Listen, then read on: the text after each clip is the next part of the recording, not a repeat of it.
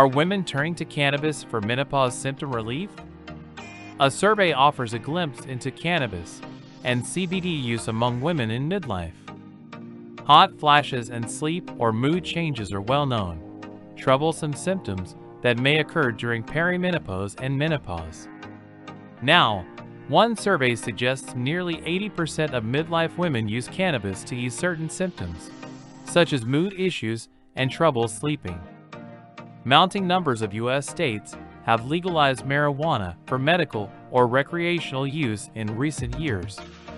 This wave of acceptance runs alongside skepticism in some quarters concerning FDA-approved menopause treatment options, including hormone therapy. But a lack of long-term research data surrounding cannabis use has led one Harvard expert to question how safe it may be, even while acknowledging its likely effectiveness for certain menopause woes. Survey reports on who uses cannabis, why, and how. The new Harvard-led survey, published in the journal Menopause, looked at patterns of cannabis use in 131 women in perimenopause, the often years-long stretch before periods cease, along with 127 women who had passed through menopause.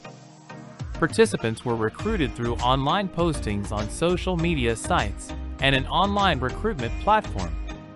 Nearly all survey respondents were white, and most were middle class, according to income reporting. Perimenopausal women reported worse menopausal symptoms than their postmenopausal peers, as well as greater cannabis use to address their symptoms.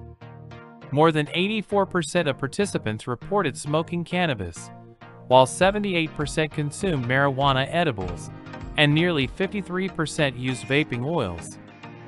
How might cannabis help menopause symptoms? It makes sense that midlife women reported cannabis improves anxiety, mood, and sleep, Dr. Hirsch says.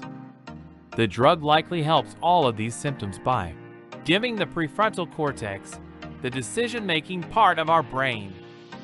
For many women, anxiety spikes during perimenopause, she notes.